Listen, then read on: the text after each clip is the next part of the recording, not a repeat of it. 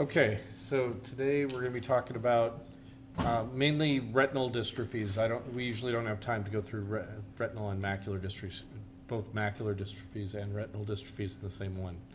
But for those of you who've been in my clinic, uh, you know that there's that I'm the main referral person for the Intermountain West, really for all for retinal degenerations. So I'm going to give you my approach to how I deal with these patients and, uh, and get them, uh, get them the care that they need. And you'll see that uh, they do take a little, they take a lot more time than an average retina patient. And when they come in, the way I run my clinic, I try to have, I'm working on trying to adjust my clinic so that I see one, uh, one new retinal dystrophy patient per clinic, not two or three, as they sometimes try to put into my clinic. And as you'll also see when you come into my clinic, that we, we're trying to get them to come in early at the beginning of the clinic because typically their workup before they're even ready to see me can be three to four hours. And so they need to be, this is every bit as bad as neuro-op clinic, I think. Um, and they, uh, so we have to really allow that. The patients need to be aware. And a lot of the patients that are coming in to see me have already seen three, maybe four eye care specialists. They've seen their optometrists, they've seen ophthalmologists, and a lot of, and they've gotten, by the time they've reached me, they've had, they have a lot of misinformation, a lot of apprehension. They generally have been reading on the internet already and reading a lot of, getting, a, you know, seeing a lot of variability. Actually, most of the stuff on the internet is probably pretty depressing for them to look at. And so we have to give them some hope, and so I try to do that. Plus, there's a lot of misinformation, as we'll see on the internet too, that gives them false hopes and can take uh, can take their money and can take and give them essentially bad care and perhaps even put them at risk. So these patients just take a lot of extra time. It's when I came here 21 years ago, that was one of the reasons I was brought on is that I did I did have at least a reasonable expertise in the in the uh, in the care of these patients, and uh, was willing to take them on as part of as part of my uh, reason for coming out here. So we'll get started here, and there are a variety of retinal dystrophies that I see. Uh, the ones that are, are the most common include retinitis pigmentosa, and we will go into that more in detail there are syndromic retinopathies, which means that's retin retinitis pigmentosa or similar diseases plus other systemic manifestations. I would say compared to some of my colleagues at other institutions, I don't have as many as you would expect as as other other institutions have, and that just uh, that may be just the referral pattern here. It may be the way, the, just the genetic population here, but there isn't, there aren't, most of the cases that we'll see in my clinic are pure ocular diseases, are not, uh, with the exception, uh, unless you want to talk about things like Usher disease or things that have just one other manifestation like, like hearing loss. But in terms of real, uncommon, rare, multi-system diseases, probably you're not going to see a lot of them in my clinic. The other one that I surprisingly see very few of are stationary retinopathies. This is things like congenital stationary night blindness. And I'm kind of mystified at that. If you talk to, if I talk to my other colleagues, I don't see, I just don't get that many referrals. Don Creel is very good, is a very good electroretinographer, and some of these have very characteristic patterns, but I just don't see them very much. And maybe I'm, miss, I'm underdiagnosing them or missing the diagnoses or people don't complain enough.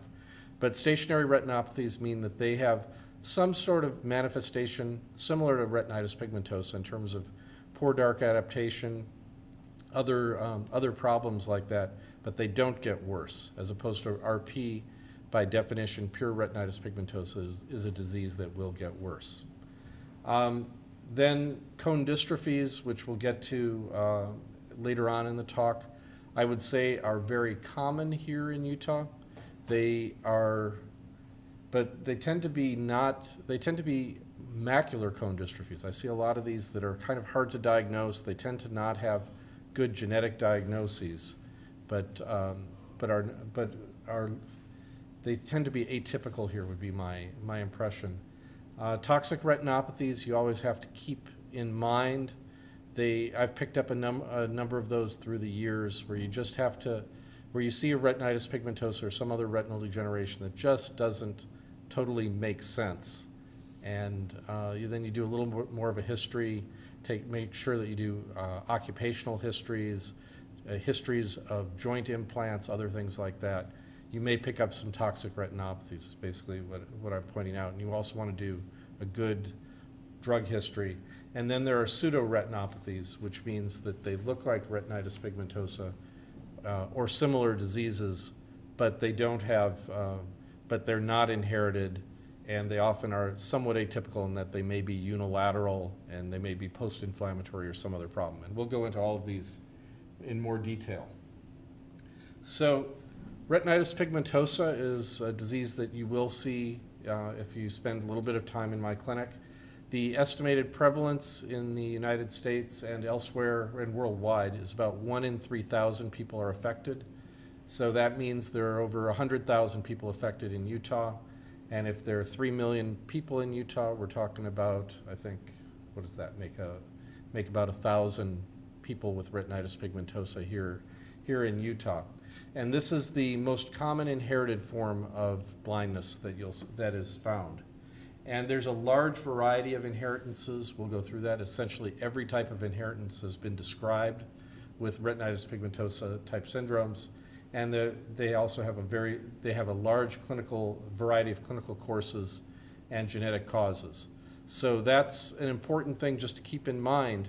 Patients who come in with the diagnosis of RP are going, you know, they, they will have read on the internet and they will see RP is a blinding disease. They, they claim, and I don't know if this is really, really true, but they often say that their doctors said, yep, you have retinitis pigmentosa, you're going to be blind in five years, and then just walks out. I hear that story all the time. And so hopefully uh, the people in this room will not do that and understand that there's a lot, a lot of variety, and either you need to know what you're talking about or you need to, need to show some compassion and, and refer them on to someone who knows what, what really is going on with the disease.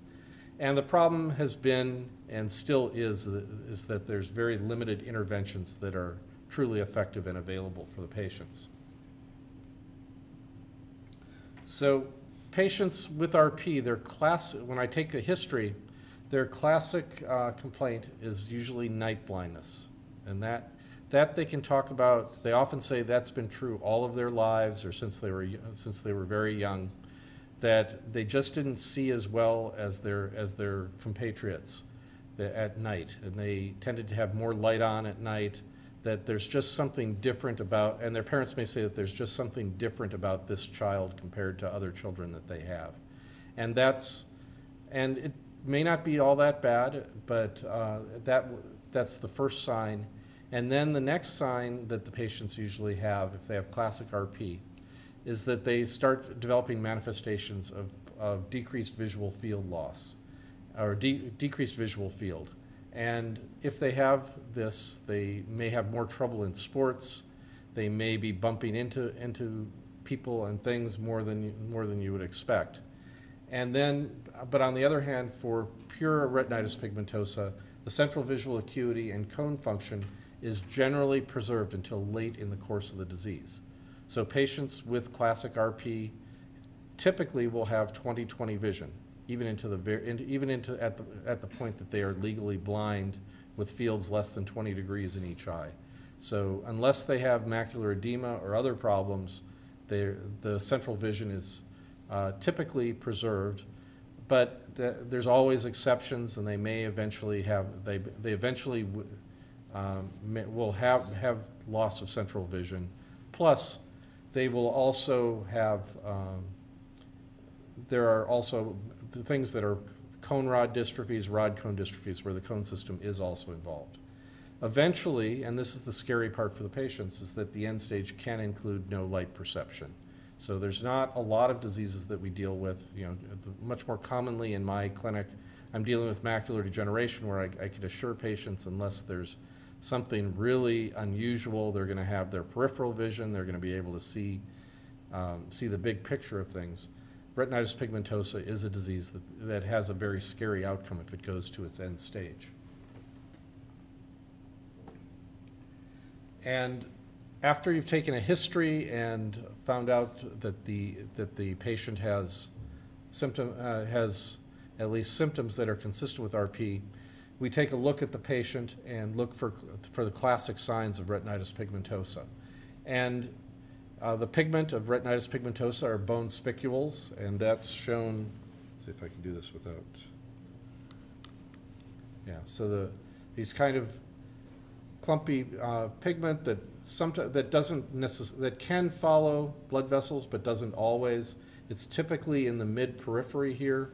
There can be, uh, there's a lot of different manifestations. Some patients have dense, you know, almost confluent bone spicules here.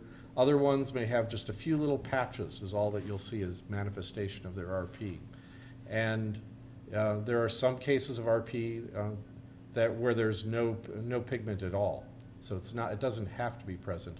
The other thing that you'll see is peripheral retinal atrophy. The uh, pigmentation, the choroidal pigmentation that you see here just doesn't look quite as uniform as you would expect, and you see, uh, you see down to, to the, uh, down to the, the choroid a little bit better than you would expect. There is waxy pallor of the optic disc and occasionally optic nerve head drusen. So waxy pallor means that there's, it's pale and it just doesn't have the vasculature, it just doesn't have, just doesn't have a, a, a, a real normal look to it. And optic nerve head drusen can be found, uh, I've heard it claimed up to 20% or so, that if you really look for them to have that. And then there is classically vascular attenuation, shown here. And uh, you often see vitreous cells. Now, these are not inflammatory cells. This is often just little bits of degenerative tissue that gets off into the vitreous. But that can be confusing if you're, if you're worrying about an inflammatory disease that is doing the same process. Um, then posterior subcapsular cataracts are surprisingly common in these patients. That's the most common cataract that I see. They happen at a relatively young age in these patients. I often see them in their 20s, 30s with a posterior subcapsular cataract.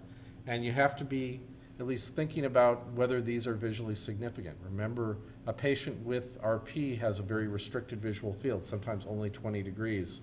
And a posterior subcapsular cataract that, that would be pretty much asymptomatic to a normal, normal seeing individual may be visually significant if it's just right in the center, which they surprisingly often are. And it's been shown through many studies that, pa that patients with RP do very well with cataract surgery. And so it's not a re having RP is not a reason to, to avoid doing cataract surgery. They're not at any higher risk of complications or any other, you know, there, any other reasons to avoid doing cataract surgery. On the other hand, you have to go in with the fact that they do have a problem in the retina, and so you have to you have to have the patients go in with reasonable expectations that you're not going to cure their RP, that there's a possibility you may be wrong, and that it's not as visually significant as you thought. And they, so there are a fair number of disappointed patients if you don't prepare them for that. Uh, cystoid macular edema is quite common in these patients and was probably underdiagnosed until we got into the OCT era. Now that we have OCT, it's pretty standard on, that's part of the standard workup of all my RP patients is to do an OCT because I, I miss it clinically, but if, the, if a patient comes in with classic looking RP, uh, say as a 15 year old kid and comes in with, with classic RP but has 2050, 2060 vision, think cystoid macular edema in these patients and be sure to have an OCT because that can be treatable uh, with either with dorzol dorzolamide topically or Diamox uh, orally, and you can help them improve their vision. So, yes? For the vitreous cell, are they usually pigmented? Uh, they generally are not, and they're kind of whitish in, in what I, what I see, but you probably could see pigmented, but they can be confused, and they sometimes, some of these patients come in, in into the uveitis clinic, and so you do, they can be almost anything, but I generally say they're not pigmented. Um, and as we mentioned, the macula is preserved until late in the course of the disease. That's the last place. That's the last place that usually goes in a, in, a, in RP. So, when a patient comes in to see me, what do they have to do for their three or four hours before they see me? Well, we're supposed to. Get, the, you want to get a clinical history, did they start with night blindness at a young age? Do they have, um, is it, does the progression, you know, if you have someone who's come in and says, things have gone bad in six months, you have to think about, and that they had perfectly normal vision before, that doesn't rule out RP, but at least makes you think about something else going on. But uh, typically, the course is pretty slow, that they say, and this has been progressing. Um, You, the average age that I would diagnose patients are in childhood or young adulthood, but I have diagnosed newly, newly, newly diagnosed patients all the way up until their seventies or eighties. There's some patients that have mild enough disease that they don't manifest and don't complain about the problems until late, very late in life. So it doesn't totally rule it out. But the more typical patient coming in is, is school age or young adulthood. Uh, you want to get a good family history. Uh, and this is, we're trying, we currently don't have a genetic counselor anymore, so I'm the one and my technicians that need to do this. I don't, it's hard to get a good, to take the time to get a good family history, but at least I take a limited one and ask, do you have any cousins with any eye problems? Tell me about your parents. Tell me about, if you're an adult, tell me about what's going on with your kids and your siblings. And find out, just to see if there's anyone else with even vaguely similar eye problems within the, within the family. You then need to do a dilated retina examination and photography. This, the basic imaging that I do for my patients coming in includes uh, fundus photographs, and I'm trying to drill into my technicians and the photographers that if there's a patient with RP, it's useless to me to give me a, fun, a macular photo. They, and it's amazing how the photographers still don't get it at all after all this time. But if it says RP on it, that automatically means I want the peripheral shots, whether with the Optos or uh, montage, shot, montage shots. I also want to get, I get autofluorescence routinely because uh, there's often a lot of autofluorescent abnormalities that can bring out some of the, the, the changes in the, in the mid-periphery versus what's going on in the macula. Um, We'll get infrared, OCT, all of the basic, what I call non-invasive imaging. Uh, A fluorescein angiogram is not, not typically something I would get unless, until after I've seen the patient and really looked. uh, If there's something unusual, then of course I would get that, if there's evidence of other, of vascular problems or something else unusual. Visual field testing, this is done a little bit out of order, but visual field testing is very important. And in my opinion, uh, Goldmann fields are the gold standard still. Manual gold fields, Goldmann fields are the ones to do. The Humphrey visual fields that we get don't go out far enough. You really want to know what's going on in the mid-periphery all the way out on these patients. And so that's, um, that's important.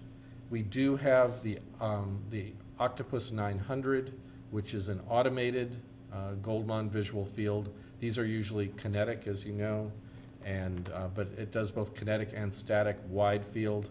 The technicians hate it, and the patients hate it too, because it takes, it takes a long time to do that test. It can be 30 minutes of testing per eye on these patients. And so we got the, Oct- the Octopus 900 for clinical studies. When we were doing some of our RP studies, you need to have something quantitative and less subjective than a Goldmann visual field.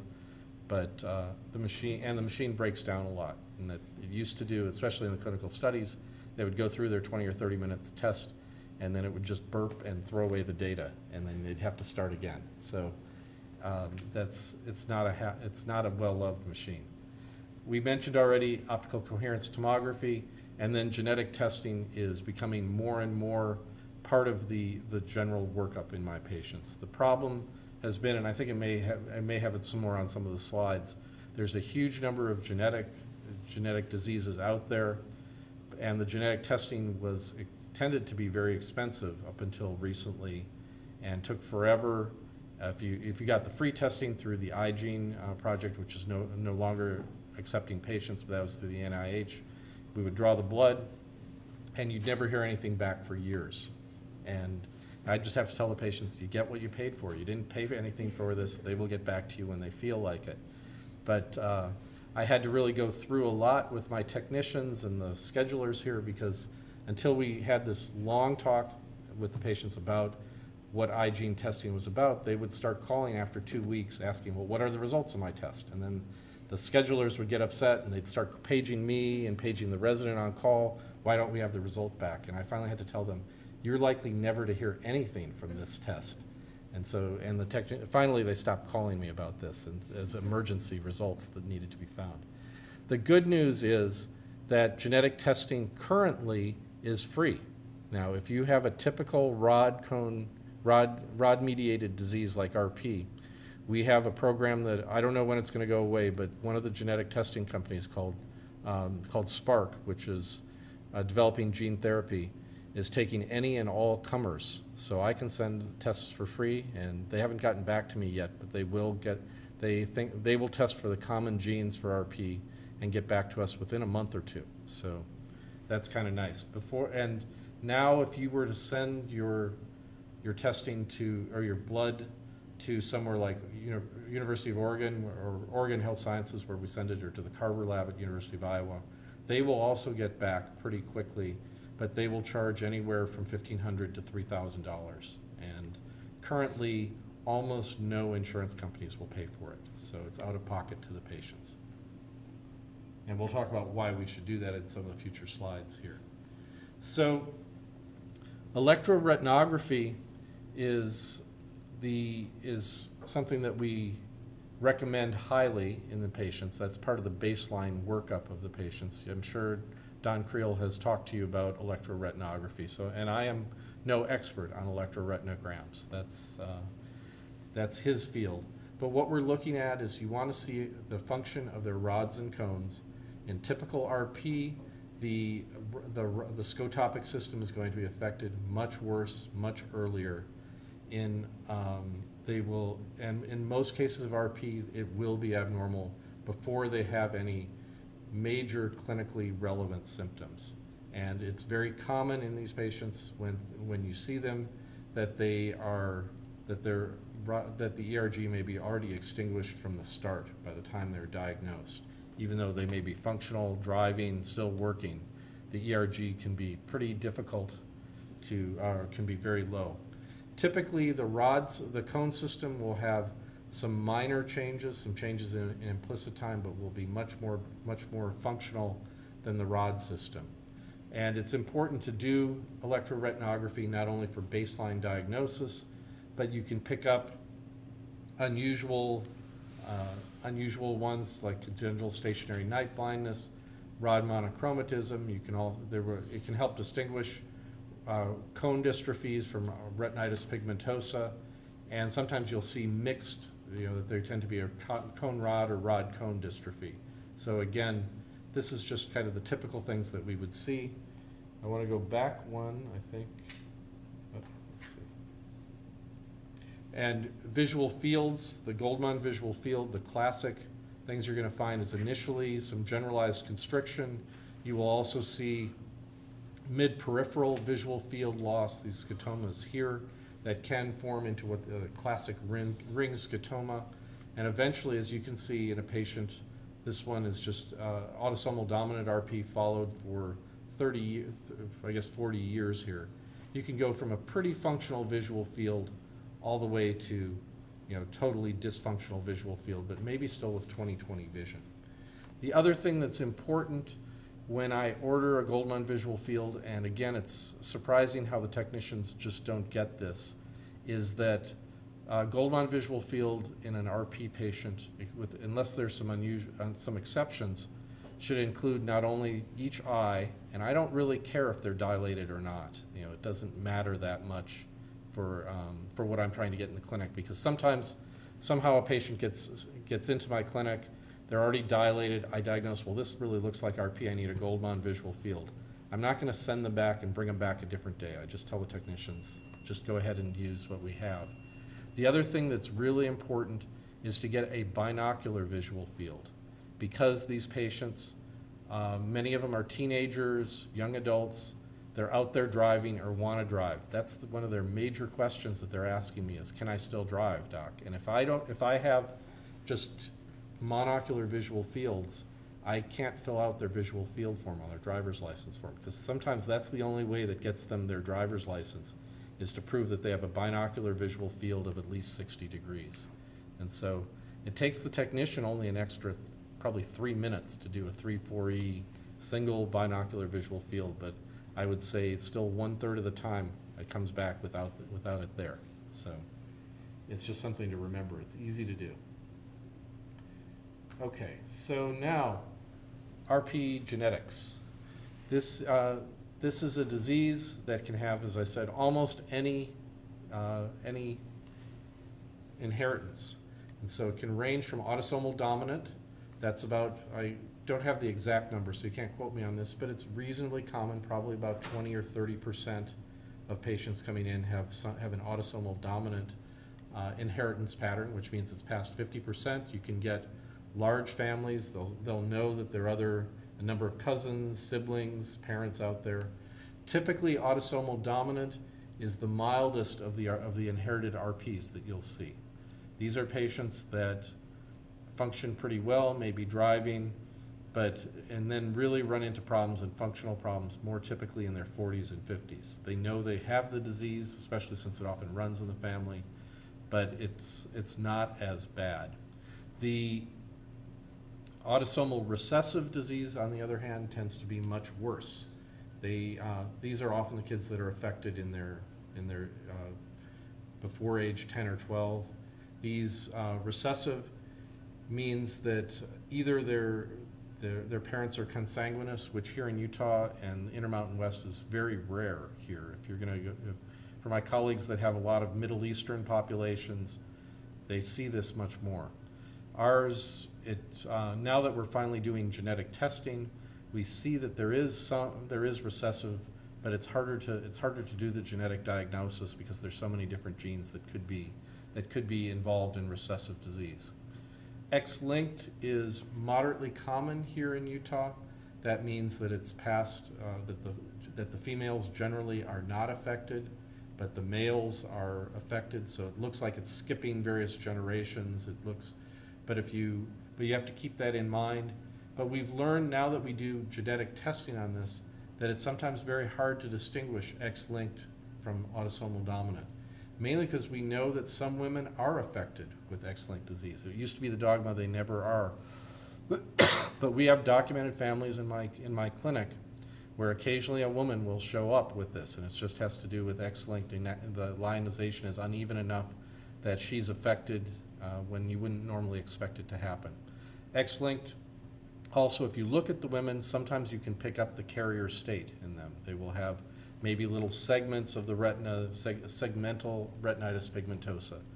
Uh, they may also have mild disease that shows up when they're in their 50s and 60s. They're starting to get a little bit of night blindness. So it's something to at least think about. And we know that there can be, that's, uh, now that we look at this, there are some mix-ups between autosomal dominant and X-linked. Mitochondrial is uncommon in my, uh, in my clinic. They tend to have other neurologic symptoms that go with other, other diseases, you know, that, but there are some mitochondrial ones that you will see.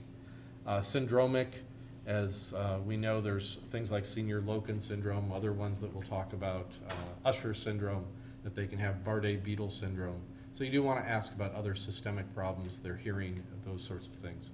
And then finally, probably still, the, the most common disease in my clinic is sporadic, which means we just don't know. There's no known, no known family history. They're, they, they may be in, they could have any of these mutations, then that they may be, uh, if they're autosomal, they could have autosomal dominant, but they're the founder of the disease, of a new line of, uh, of RP. They could be autosomal dominant just with variable penetrance, and only a few patients show up, and that's all that you see within the family. They may be X-linked, again, you know, it may be, may appear as sporadic. And of course, recessive, if you just don't have enough, uh, large enough family, that you may not have any known relatives in the with the disease. So with autosomal dominant RP, as I mentioned, the courses uh, can be very mild. There can be variable penetrance. The most common, uh, the, and this was the first gene that was found for retinitis pigmentosa, and actually for, for a relatively early finding of any genetic disease, is that rhodopsin is one of the most common uh, targets of this disease, most common sources of this. And mutations, uh, you know, and it accounts for maybe 30 or 40 percent of autosomal dominant RP. The most common mutation is uh, something called P23H, which uh, is a proline 23H mutation, histidine uh, substitution. It's uh, in some pa- parts of the country, 30 or 40 percent of, of dominant RP is just that particular mutation. If you go to Europe, the prevalence is zero. It is a disease that is an American disease with an American founder effect. They even know who the founder of the disease is. They've traced that all back. And very interestingly, essentially none of them ever moved to Utah. So I have none, or I just, actually I found the first one or two, and they had moved here from somewhere else to Utah. So it's a pure founder effect. Um, but because it's so common, a lot of people have been studying the disease. They've developed mouse models for this disease. But there are many, many others, and they can affect not only transduction, but a lot of them uh, affect folding of the protein here. They affect, uh, they can be, uh, they can have severe mutations at the site where the, where the vitamin A chromophore binds in. Almost anything can happen. Um, but a lot of them are protein misfolding diseases uh, in rhodopsin. Another relatively common mutation that we see is in RDS peripherin, which is a structural protein that's involved in formation of the optic disc of the discs. The interesting thing about RDS peripherin is that its manifestations can be very different even within the same family. So you can have classic RP and you can have something that looks like a pattern dystrophy. So again, if you just think about things that look a little atypical and especially if you see other, if you've already seen other members in the family that have different looking disease, RDS peripherin is often the culprit. Um, another set of another set of problems and genetic defects are ciliopathies, because of the cilium connecting the rod outer segment and the inner segment is a very complex uh, set of proteins there, and there's about there's literally dozens of proteins in there that can be affected. And once you um, mess up the cilium and affect transport between the rod outer segment and the inner segment, or affect structural problems, you can get a retinal degeneration. There are people here like uh, Wolfgang Baehr and Jun Yang here that are on our research faculty. That's all they study is ciliopathies. And so, and ciliopathies often tend to be syndromic too, affecting kidneys, affecting hearing, other, other problems that are other ciliated uh, structures in the body. Um, another set of uh, mutations that we often see are splicing factors. And so these are RNA, these are RNA processing proteins. They're relatively common here in Utah. Why, why that would be true and why it come, why it affects just the rod cells when these are found in every cell in the body. People, the, the thought is that uh, photoreceptor cells are such specialized cells that they don't have backups, I think. If you have in other cells of the body, in your liver, they've got other splicing factors that can take care of a problem if you have a mutation in a splicing factor. But if you have one in, um, in some of these, spli- PRPF31, which is one we see a lot here, your retina degenerates. And then, as I also mentioned already, that protein misfolding and misdirection can cause a lot of problems in the, in the rod cells. And this has to do with the fact that our rod cells don't regenerate. They have to last uh, all our life, and so for 100 years. And so if you've got things that, uh, that cause problems in the cell for, um, oh, and you can have problems that can accumulate over many years. Recessive mutations are relatively uncommon unless you have a lot of high, at a high rate of consanguinity. We, we said they're often severe and early onset, and many of the Leber's congenital amaurosis diseases, which is essentially congenital retinitis pigmentosa, are these recessive diseases. And maybe, I don't see so many of them in my clinic, but they probably are in the peds clinics and just aren't seeing them, seeing me. The mutations are often in the transduction cascade and in the visual cycle. So they tend to be more enzymatic problems going on in the eye. And they may, these are the ones that were also first, uh, some of the first digenic diseases were, uh, were re- recessive RPs. So that's where multiple, um, where you have a mutation in, in one gene and a mutation in a different gene, but somehow they're connected in the pathway, and you get enough, uh, enough disruption of the, of the normal pathways within the eye that you get, uh, that you get cell death. Many of these diseases, when they're first found, uh, when they disrupt the visual cycle, They cause high levels of cyclic GMP. There's, uh, there can be accumulations of toxic products within the retina that eventually cause, cause death of the cells. Um, X-linked is, uh, tends to be a little bit different in that the males are affected. It's usually very severe. A lot of these kids are symptomatic at age seven, eight. It's uh, pretty unfortunate, and these patients don't do very well. Uh, females can have mild or late onset. The most common mutations are in RPGR, uh, one of the in, uh, which is obviously found on the X chromosome. But the other one that you need to know about and that shows up on boards is choroideremia, in that it's X-linked. It has a very characteristic pattern here where you see massive choroidal, retinal choroidal atrophy, preservation in the center, and they tend not to have a lot of bone spicules. They tend to have more patchy clumps of pigment seen here. And mitochondrial retinitis pigmentosa is relatively uncommon. Obviously, there's maternal in- inheritance, and think of neurologic problems. So think of Kearns-Sayre, MELAS, those sorts of things. And then syndromic is usually recessive diseases. Multiple organ systems can be affected. The most common syndromic disease I see in my clinic is going to be Usher syndrome. And they tend to have, the important thing about Usher syndrome is that the hearing loss is usually pretty severe and it's congenital. Okay, so try to distinguish it from patients who come in with RP and say, yeah, I have a little bit of a hard time hearing and it's happened in the last five or 10 years. That's probably not Usher syndrome. I can't rule it out. But the most common thing they say, the most common typical Usher's patient has, was diagnosed early on, usually, uh, and they tend to have such severe hearing loss that there's a little bit, there's some changes in their speech. There's other things that you pick up. They may be wearing hearing aids, they may have cochlear implants. So it's, it's more severe, happens almost, and it happens ten to twenty years before they even develop any vision loss. Uh, Bardet-Biedl syndrome, I have a few patients with this, not a lot, but uh, they will tend to be obese. They, they may have mental retardation, they have polydactyly, there's a lot of, a lot of other issues. I've had one come through relatively recently, but there, there are not a lot of them. Uh, Senior-Loken, uh, Nico can tell you all about that. He's written the, the definitive article on it, I think, and I think on there, and so that's, uh, that they have kidney disease often, and I've often had kidney transplants already, and so there's a few patients in my clinic. And then you get into really rare diseases, Apert syndrome, Goldmann-Favre, Refsum z- disease, gyrate atrophy. You can read about, about them in your book. Most of these I have never, ever seen in my life in clinic, and I've been in this practice a long time, so it's, you can think about it, but they, I tried just ruling out another gyrate atrophy this week, and it came back still with a normal ornithine, so it's just the way that, and I've written an article, one of my early papers when I was a resident was on Refsum disease.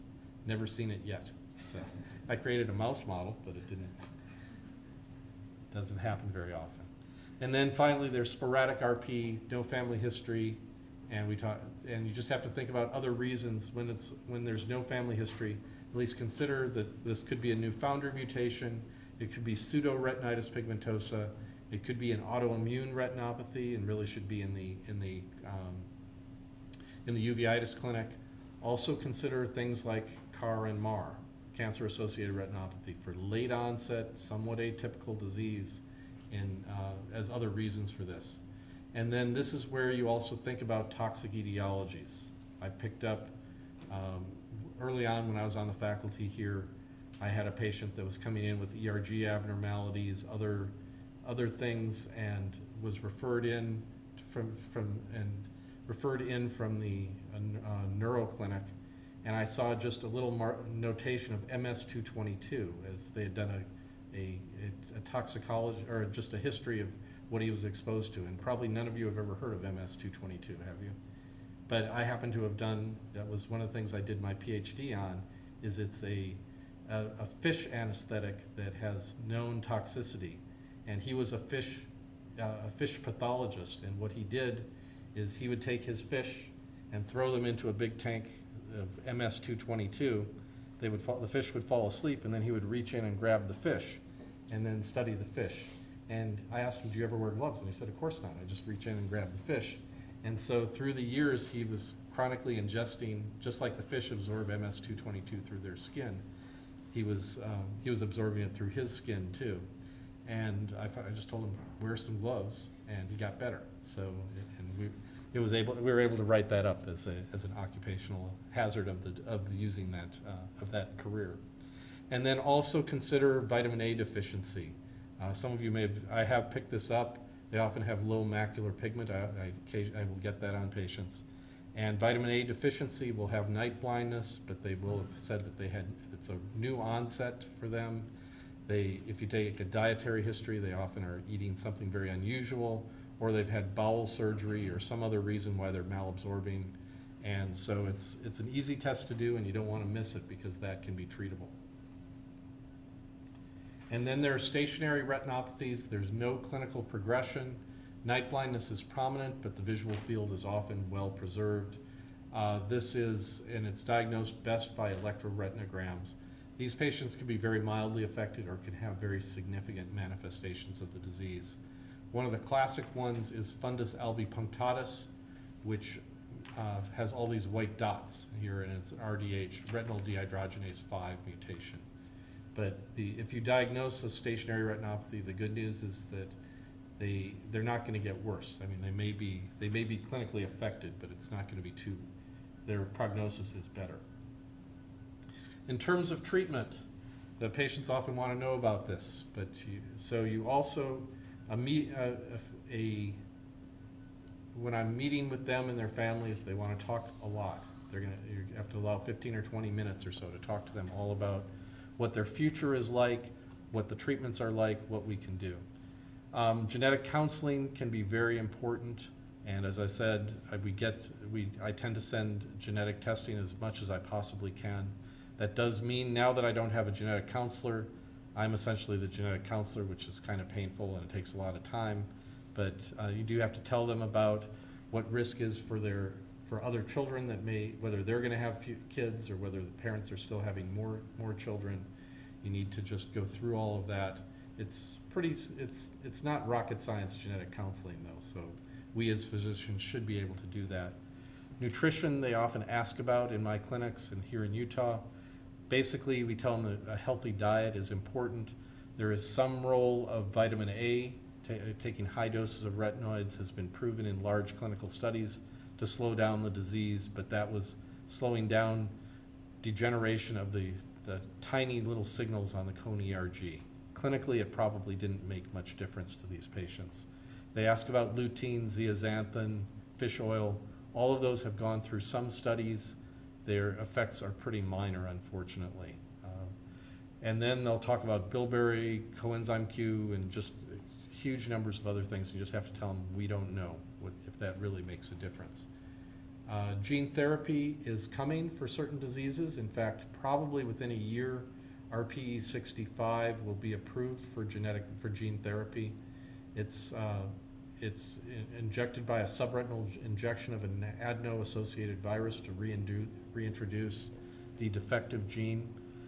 We do not have a single patient with RPE 65 here in Utah. We've been looking hard, so we, the companies are very disappointed when they say they're all excited to come here, and I say, that's great, we'd be happy to be a site, but I got zero patients for you. And I would know because my PhD was done on RPE 65. I'd be watching if anyone came in with that, uh, with that mutation, but we just don't have it. The next gene therapy that's gonna be coming though is choroideremia. That's probably coming down the line. That we've got plenty of patients for, so it will be happening. The problem is with the number of different genes out there, forty different gene, at least forty different genes, hundreds of mutations.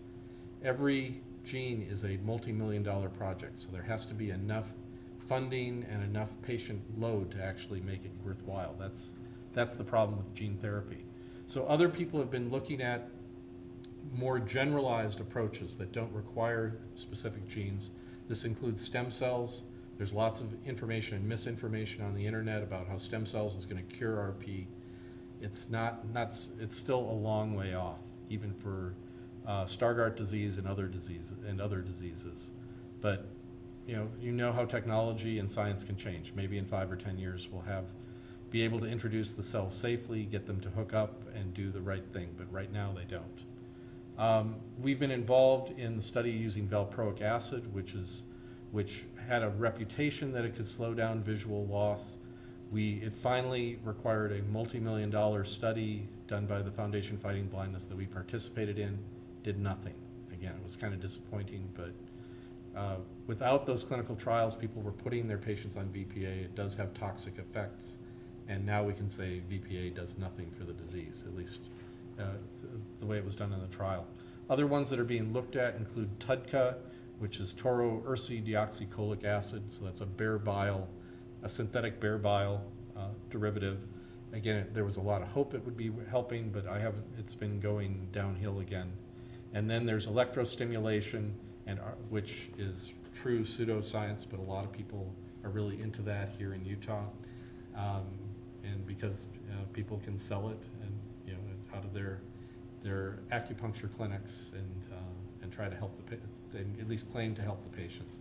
And then artificial vision, which I think we'll be talking about next. Okay, and then artificial vision is the, uh, is the Argus two chip implant. It's very primitive, but uh, it is, it is approved, and I think we've already had a talk on that earlier, I think at Grand Rounds, when, uh, when Nigel Gr- Grigori was here. And we will start offering that to a very limited number of patients, but it's for end-stage disease. They have to be hand motions or worse, I think, maybe even worse than hand motions. But you'll, we have some patients who are already lining up to have this, this done, and it'll be an interesting surgery, five hours to do, and then months of rehabilitation afterwards, and a hundred to two hundred thousand dollars, so. Um, then, in the last couple minutes, we'll cover cone dystrophies. There's a wide range of manifestations. I see them a lot. I find them pretty, the, a, lot of them are these atypical macular cone dystrophies. We don't have good genes for them. It's hard to predict how the, how the disease, how they're, how much they're going to progress. There are, uh, some of them, obviously the most common cone dystrophy we see is color, is X-linked color blindness. Three percent of the male population has that problem, but, uh, that's a stationary, that's a stationary disease. It's really the progressive ones that may happen. In the severe cases, you can get achromatopsia, but that's relatively uncommon. And then uh, the cone dystrophy signs and symptoms include loss of color vision, loss of central visual acuity. They tend to be much more photophobic than RP patients. Uh, They tend to, pure cone dystrophy, they may have preservation of their visual field. And they often have nystagmus and bullseye maculopathies if if they're really severe. And the way we diagnose cone dystrophies is just like RP, you know, the clinical history, family history, dilated examination, full field electroretinogram, and multifocal may also be very useful in these patients. And it's important, again, my technicians tend to forget about doing color vision testing, but that's how we pick up some of these. And genetic testing is moderately good, not nearly as good as retinitis pigmentosa, but we can send those out. And similar, similarly, the, we're looking at uh, gene therapy, stem cells. There's even some companies that are trying to develop gene therapy for, uh, for just regular, um, co- uh, color blindness in males. And that, that one is a little bit questionable whether you wanna put, you know, pretty normal eyes under, uh, have them undergo gene therapy, but it is coming. And then, I think the last thing, we'll just go through a few slides. Always remember that these could be toxic effects, and you want to keep that in your mind. There are numerous agents that can have toxicity. Often they will develop these crystalline deposits, in- or they will have signs that are just atypical, like crystalline deposits. This is canthaxanthin maculopathy. Uh, lutein maculopathy will be in the news in two days because that will be, uh, our first case of that uh, been, is going to be published in JAMA Ophthalmology. Um, and so that's, that's a possibility. The um, tamoxifen, we've published one report here of tamoxifen deposits. Again, they're crystalline deposits, that tends to give you macular holes, so other maculopathies can give you problems. And then, don't forget things like chloroquine, hydroxychloroquine, that's why you do a drug history of what they've been taking. Tobacco, alcohol, amblyopia, ethambutol, all these other things can cause problems that can be confused with inherited retinal diseases and can be potentially treated by just, by just uh, changing their toxic exposure. And then other things that we see, digitalis toxicity is, I think, less common. I don't, but that color, uh, just because it's not used so much, but that can cause disturbance of color vision. Uh, Viagra and similar compounds, they definitely can cause some color vision problems. They are contraindicated, or at least patients with RP sometimes ask, can I take Viagra? And the answer is, it's probably okay unless you happen to have the same mutation in the phosphodiesterase pathway. But it's something to at least be careful about in those patients. And then there's the other things like amiodarone and methanol that you just want to consider. So I think, oh, and then the last thing is remember, not everything that looks like RP is RP. It can be post-inflammatory, post-traumatic, um, it used to be, you're not seeing it so much anymore, but when I was, when I was a resident, we still would see rubella retinopathy, because people, rubella wasn't, was a disease of the nineteen fifties, and some of those patients would come in with salt and pepper retinopathies and other changes. So the clues are that they don't, that they're, they may uh, be unilateral, they may be atypical, they may have relatively little symptoma- symptomatology. They may not have night blindness even though they have something that looks like this. They tend to have more of a salt and pepper configuration. They have atypical electrophysiology and visual fields. And they may, uh, the rubella ones, often they were deaf at the same time, but they didn't have Usher syndrome. So I think that's it. So any, any questions at this point? Yes, For the, for the one patient you were talking about, or patients who were interested in the Viagra, Yeah. had the phosphodiesterase um, mutation. Recommend, or they, there may be a phosphodiesterase mutation. Do you recommend gene therapy before you, or gene testing before you say Um, go ahead and go on Viagra? I haven't ever picked up a mutation, you know, I think that, I'm gonna tell them it's rare.